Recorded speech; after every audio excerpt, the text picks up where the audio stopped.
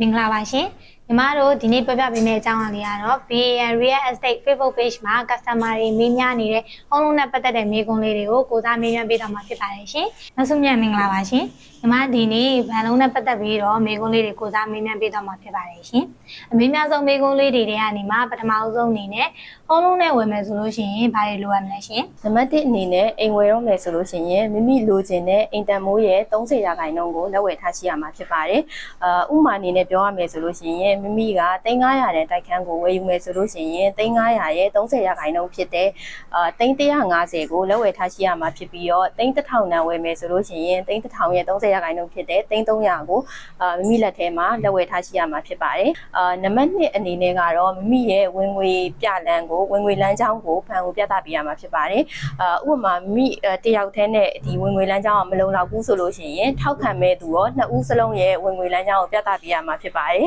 ။အာနံပါတ်3အနေနဲ့ဆိုလို့ရှိရင်နံပါတ်3အနေနဲ့ဘာလို့လဲဆိုရင်မိမိရဲ့ကိုရေးမှတ်တမ်းပေါ့နော်။အာကိုရေးအချက်လက်တွေလိုပါတယ်။အဲအဲ့ဒါတွေကတော့ဓာတ်ပုံအမှတ်ပုံတင်တကောင်စရင်အပြင်ဒီရက်ကွက်ထောက်ခံစာရက်စကန်ထောက်ခံစာတို့လိုအပ်ပါတယ်ရှင်။အိမ်ဝယ်ယူမဲ့သူကဥမာလာကစားဝန်ထမ်းဖြစ်တယ်ဆိုလို့ရှိရင်လက်ရှိကုမ္ပဏီကနေပြီးတော့လုံသက်လာစာရတူပါတယ်ထောက်ခံစာကို HR department အာဒါမှမဟုတ်ရင် company recommendation letter လိုအပ်မှာဖြစ်ပါတယ်အဲဒါအပြင်လာစာငွေလွှဲမှတ်တမ်းနောက်ဆုံး6လစာကိုလာစာ base လဲဒါမှမဟုတ် bank statement နဲ့ဖော်ပြပေးရမှာဖြစ်ပါတယ်အာလုပ်ငန်းပိုင်ရှင်တွေကိုပိုင်လုပ်ငန်းလုပ်တဲ့သူတွေအတွက်ကတော့လုပ်ငန်းလိုင်စင်နဲ့ company မှတ်ပုံတင်အချက်လက်တွေဝင်ငွေပုံမှတ်တမ်းနဲ့ငွေကြေးရှင်းတမ်းကိုနောက်ဆုံး2နှစ်စာပြသပေးဖို့လိုအပ်ပါတယ်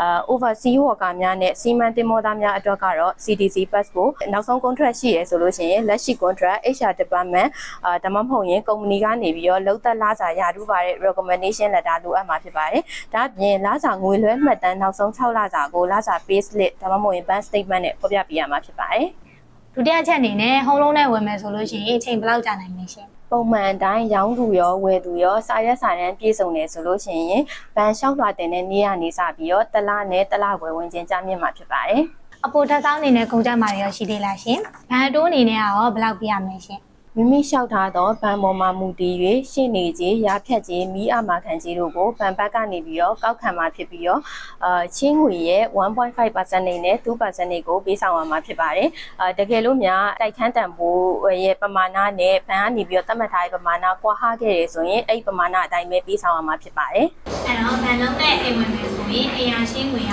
နှိရှိမှုပေးချင်မှုဖြစ်တဲ့အတွက်မိမိနဲ့မိမိမိသားစုကငွေကြေးလုံးရင်းမကုန်တော့ပဲကိုပိုင်အိမ်လေးတစ်လုံးပိုင်ဆိုင်နိုင်မှာဖြစ်ပါတယ်။အဲဒါကြောင့်ရေရှည်မှာကျိုးချစီမှာဖြစ်ပြီးကိုပိုင်အိမ်လေးကိုစိတ်ချမ်းသာစွာဖြင့်ပိုင်ဆိုင်နိုင်မှာဖြစ်ပါတယ်ရှင်အဲဒါကြောင့်လူကြီးမင်းတို့အနေနဲ့အိမ်ဝယ်ဖို့အစီအစဉ်လည်းရှိပြီးတော့အအသေးစိတ်ပြည်ကျင်တာတွေဆက်သွယ်မင်းများစုံစမ်းခြင်းနေဆိုရင်တော့စီမြတ်တို့ရဲ့ BN Real Estate ကိုဆက်သွယ်မင်းများစုံစမ်းလို့ရပါတယ်။အာစီမြတ်တို့ရဲ့ BN Real Estate ကနေပြီးတော့တိန်းလေးရာနေစပြီးတော့တိန်းတစ်တောင်းဝန်းကျင်ဒီအိမ်ချမ်းမြေတိုက်ခန်းကွန်ဒိုတွေကိုအာဗန်နဲ့အရေးကြချိတ်ဆက်ဝယ်ယူမယ်ဆိုလို့ရှိရင်အခချင်းတွေလုံးဝမယူဘဲနဲ့ free ဝန်ဆောင်မှုပေးနေပြီဖြစ်ပါတယ်။ဒါကြောင့်လူကြီးမင်းတို့အနေနဲ့ဗန်နဲ့ချိတ်ဆက်ဝယ်ယူခြင်းနဲ့ဆိုလို့ရှိရင်စီမြတ်တို့ရဲ့အောက်ကဖော်ပြထားတဲ့ဖုန်းနံပါတ်တွေကိုအခုပဲဆက်သွယ်လိုက်တော့နော်။